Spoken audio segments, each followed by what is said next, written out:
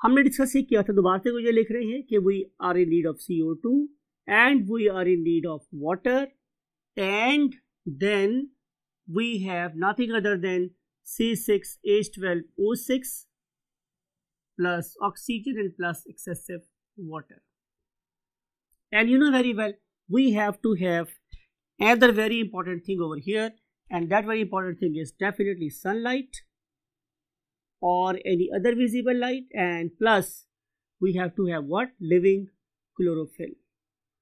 तो जब ये सारी की सारी प्री रिक्विजिट्स प्रेजेंट होंगी तो ज़ाहिर है प्लांट क्या करेगा? फोटोसिंथेसिस और क्या बना देगा? ग्लूकोज क्या मैं प्रूव कर सकता हूँ स्टूडेंट्स कि वाटर बहुत इसेंशियल है फॉर फोटोसिंथेसिस तो सिंपल सा आंसर ये कि आप एक प्लांट लें, और एक को आप पानी दें, और दूसरे को आप पानी ना दें। तो जिसको आपने पानी नहीं दिया होगा, ज़ाहिर वाइस ऐसा मुरझा जाएगा, उसकी डेथ हो जाएगी। इसका मतलब ये है कि फोटोसिंथेसिस के लिए वाटर या पौधे की लाइफ के लिए वाटर बहुत ज़रूरी है। अब हम चलते हैं इस, इससे अगले पॉइंट पर। अगला पॉइंट मेरे पास ये था स्टूडेंट्स कि देखें एक मेरे पास सी और एक मेरे पास वाटर है। ज़रा बात को अपने गौर से सुनना स्टूडेंट्स अब देखें कि यहाँ पे मेरे पास क्या है ऑक्सीजन राइट सिमिलरली एक ऑक्सीजन मेरे पास कहाँ है? यहाँ। दो जगह पे ऑक्सीजन इनमें से डेफिनेटली एक जगह वाली ऑक्सीजन यहाँ इस्तेमाल हुई है और दूसरी ऑक्सीजन यहाँ as a by product produce हुई राइट या तो ये CO2 पूरी की पूरी यहाँ इस्तेमाल हो गई है और वाटर की हाइड्रोजन इसके अंदर शामिल हो गई है। या फिर स्टूडेंट्स ये हो सकता है कि ये वाला मॉलिक्यूल सारे का सारा आके इस सी से मिल गया और ओटो लिबरेट हो गई यानी कि we can suspect that this particular C O two is giving off what oxygen पहला हमारा शक ये है कि C O two oxygen produce करता है। लेकिन जो दूसरा हमारा शक है कि नहीं सी टू में से ऑक्सीजन नहीं आ रही basically water is giving off what oxygen अब इसके लिए एक साइंटिस्ट था स्टूडेंट्स उसका नाम था वॉन नायल। आप इसे नील भी बोल सकते हैं whatever you want to pronounce no problem at all year was nineteen thirty yes he was basically working on photosynthetic bacteria किस पे काम कर रहा स्टूडेंट्स वो? फ़ोटो सिंथेटिक बैक्टीरिया पे काम कर रहा था। आपने बात को स्टूडेंट्स बहुत गौर से देखना है कि हम अगर कोई भी बात करते हैं साइंस में तो डेफिनेटली उसके पीछे हमारी कोई ना कोई रिसर्च या कोई ना कोई एक्सपेरिमेंट इन्वॉल्व होता है। इसका व्यू ये था कि source of oxygen source of oxygen is water and not or never CO2. But remember, it was his hypothesis. ये उसका अपना हाइपोथेसिस था सिर्फ़ क्यों उसका हाइपोथेसिस था बिकॉज़ कि जब उसने फोटोसिंथेटिक बैक्टीरिया पे एक्सपेरिमेंट किया तो जितनी भी सी वो प्रोवाइड करता था राइट वो सारी की सारी फिक्स हो जाती थी और उसमें से कोई ऑक्सीजन प्रोड्यूस नहीं होती थी मैं दोबारा ड्रॉ कर रहा हूँ आप लोगों के लिए आपको समझाने के लिए कि लुक एट दिस ये मेरे पास एक फ़ोटो सिंथेटिक बैक्टीरिया है जो वाटर यूज़ नहीं कर रहा। It is not using water it is doing photosynthesis with some other source and whenever he supplied any C O two to this particular what photosynthetic bacteria तो it was not it was not giving off what oxygen चूँकि CO2 के इस्तेमाल के result में oxygen पैदा नहीं होती थी तो उसका व्यू ये था कि इस पर्टिकुलर CO2 को अगर देखा जाए तो ऑक्सीजन का सोर्स नहीं है, बल्कि सोर्स ऑफ़ ऑक्सीजन, बल्कि source of oxygen should be water. लेकिन बात भी वही हो रही है स्टूडेंट्स कि हम साइंस के लोग कभी हाइपोथेसिस पे बिलीव नहीं रखते। हम हमेशा इस पर्टिकुलर हाइपोथेसिस को always put it to some testing तो उसके लिए हम देखते हैं कि आने वाले लोगों ने अप्रोक्सीमेटली 10 साल के बाद जब डिस्कवर हो गया था व्हाट मैस स्पेक्ट्रोमीटर तो उसको यूज़ करके उन्होंने इस हाइपोथेसिस को कैसे वेरीफाई किया। So let's move to the next point yes well student हम डिस्कस कर रहे थे कि 1930s में एक हाइपोथेसिस प्रपोज किया था वॉन नायल ने। और अब इस पर्टिकुलर हाइपोथेसिस को टेस्ट करने की एबिलिटी हमारे पास कब आई थी याद है? 1940s में इसको टेस्ट किया गया, इसको वेरीफाई किया गया। और उसके लिए 1940 में ग्रुप ऑफ़ साइंटिस्ट ने क्या किया? उन्होंने दो ग्रुप लिए प्लांट के। फॉर एग्जांपल उन्होंने टेन प्लांट्स ग्रुप ए में ले लिए।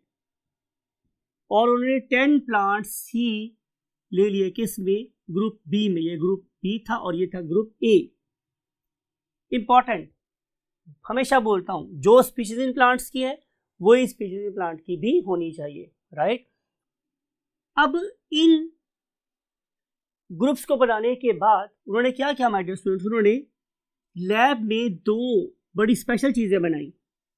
उनमें से एक का नाम क्या था? वाटर ये क्या बात हुई, बड़ी स्पेशल चीज़ें बनाई? भाई, मैं बता रहा हूँ कि आमतौर पर जो वाटर मेरे पास होता है, उसका जो मोलेक्युलर मैस है वो कितना है? ज़ाहिर है, टू इसका और सिक्सटीन इस ऑक्सीजन का because it is O sixteen right इसका कितना है? वन। चूँकि इसके दो आइटम इस्तेमाल हुए तो वन इंटू टू टू और सिक्सटीन इंटू वन सिक्सटीन तो जब मैं इन दोनों को ऐड करूँगा तो हमारे वाटर का नॉर्मल मोलेकुलर मैस कितना हो जाएगा? 18 16 प्लस टू एटीन लेकिन उन्होंने क्या किया? उन्होंने लैब में इस ऑक्सीजन की जगह पे इसका एक स्टेबल आइसोटोप इस्तेमाल किया, उसका नाम क्या था? ओ एटीन तो अब क्या बनेगा मेरे पास स्टूडेंट्स एच एच क्या बनेगा मेरे पास? टू और चूँकि अब मैं इस्तेमाल कर रहा हूँ ओ एटीन तो जब मैं यहाँ पे ओ एटीन इस्तेमाल करूँगा तो अब ये वाला वाटर नॉर्मल नहीं रहेगा, बल्कि ये एक हैवी वाटर बन जाएगा। बिकॉज़ नॉर्मल वाटर का मोलेकुलर मैस कितना है? 18 और इसका कितना है? 20 ये 2 ए एम यू हैवियर है, इसलिए मैं इसे क्या बोल रहा हूँ? हैवी वाटर याद रखिए मेरी बात स्टूडेंट्स ये है कि ये वाला जो पानी है, ये रेडियो एक्टिव नहीं है बिकॉज़ कि ये जो ऑक्सीजन है, ये रेडियो एक्टिव नहीं है, ये इसका एक स्टेबल आइसोटोप है। So try to eliminate this confusion from your mind कि ये बेसिकली एक स्टेबल आइसोटोप ऑफ़ ऑक्सीजन है। लिहाजा मैं इसकी प्रेजेंस को रेडियो एक्टिव डिटेक्टर से मीन्स गैगर बुलर काउंटर से डिटेक्ट नहीं कर सकता। इसके लिए मुझे कुछ और यूज़ करना पड़ेगा। वो कैसे इस्तेमाल करते हैं, हम बाद में डिस्कस करते हैं। तो पहली बात ये थी कि उन्होंने बनाया एक हैवी वाटर कहा? अपनी लैब में ये नेचर में एग्जिस्ट नहीं करता। नंबर टू हमने क्या किया स्टूडेंट्स यू नो कि अगर मैं किसी टू की बात करूँ तो आपको पता है स्टूडेंट्स कि टू का मोलेकुलर मैस क्या बनेगा? यू you नो know, इसका नॉर्मल एटॉमिक मैस कितना है? ट्वेल्व और ऐसा कितना है मेरे पास? Sixteen right right? तो अगर मैं इसको ऐड करूँगा तो ट्वेल्व प्लस थर्टी टू हो जाएगा कितना? Forty four so normal molecular mass of normal carbon dioxide is what 44 लेकिन हमने क्या किया स्टूडेंट्स कि हमने इस वाले केस में सी फोर्टीन नहीं इस्तेमाल की, बल्कि रेडियो एक्टिव आइसोटोप यूज़ किया। यहाँ का यूज़ किया था? स्टेबल आइसोटोप रेडियोटिव नहीं था। यहाँ पे मैंने यूज़ किया है स्टेबल सॉरी यहाँ पे यूज़ किया मैंने radioactive isotope of carbon और वो क्या था? सी फोर्टीन इसका मतलब ये है कि जब मैं फोर्टीन के साथ थर्टी टू को मिलाऊँगा तो ये बन जाएगा क्या? Forty six no look at this a radioactive CO two experimental foundation को समझें। इस वाले केस में मैंने क्या की? हैवी वाटर इस्तेमाल किया। ये रेडियोएक्टिव नहीं है। और इसमें मैंने इस्तेमाल की क्या? रेडियो एक्टिव सीओ ये स्टेबल नहीं है। अगर मैं इसको डिटेक्ट करना चाहता हूँ, इसकी प्रेजेंस को तो मुझे यूज़ करना पड़ेगा क्या? मैस स्पेक्ट्रोमीटर क्या यूज़ करना पड़ेगा स्टूडेंट्स इसको डिटेक्ट करने के लिए? मैस स्पेक्ट्रो मीटर और अगर मैं इस पर्टिकुलर CO2 को प्रिडिक्ट करना चाहता हूँ तो I must use what Geiger counter Geiger Muller counter और simply Geiger counter this particular group of scientist was blessed with both facilities कि इनके पास मैट स्पेक्ट्रोमीटर भी था और इनके पास गैगर काउंटर भी था तो अब एक्सपेरिमेंट को स्टार्ट कर सकते थे। उन्होंने किया क्या स्टूडेंट्स उन्होंने इन प्लांट्स को क्या दी? बात याद रखिएगा ये कॉलम किसका है? ये ग्रुप ए का कॉलम है। राइट ये ग्रुप ए का कॉलम है और ये कॉलम किसका है स्टूडेंट्स ग्रुप बी का। ग्रुप ए के पौधों को क्या था प्लांट आपको याद है स्टूडेंट्स बताए तो हम लोगों को। ये थी बेसिकली एक एलगी और उस पर्टिकुलर एलगी का नाम क्या था? क्लोरेला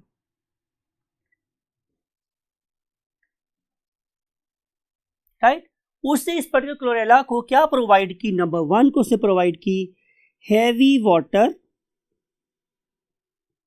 और number two was normal CO two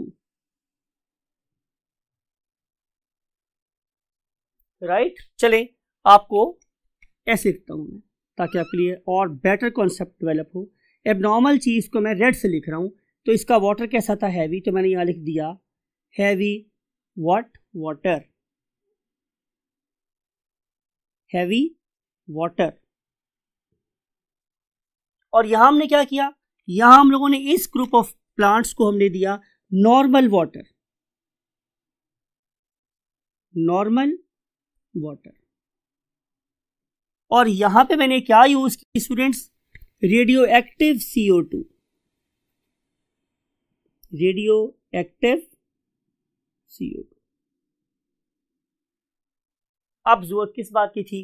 कि मैं इन पर्टिकुलर प्लांट्स में से प्रोड्यूस होने वाली गैस को कलेक्ट करूँ तो उसके लिए मैंने इस पर्टिकुलर प्लांट के गिर क्या लगा दिया? पॉलिथीन बैग लगा दिया। और इन प्लांट से गेट भी मैंने क्या लगा दिया? स्टूडेंट्स पॉलिथीन बैग राइट फिर मैंने क्या किया? फिर मैंने इस पर्टिकुलर गैस को एक फ्रिज में कलेक्ट किया। इस गैस को फ्रिज में कलेक्ट किया, एक फ्रिज में। और इसको भी मैंने गैस को फ्रिज में कलेक्ट कर लिया। और उसके बाद में जो गैस मैंने कलेक्ट की यहाँ पे सिरिंजेस से स्टूडेंट्स उनको मैं लेके गया किसके पास स्टूडेंट्स मैस स्पेक्ट्रोमीटर के पास। मैस स्पेक्ट्रोमीटर के पास।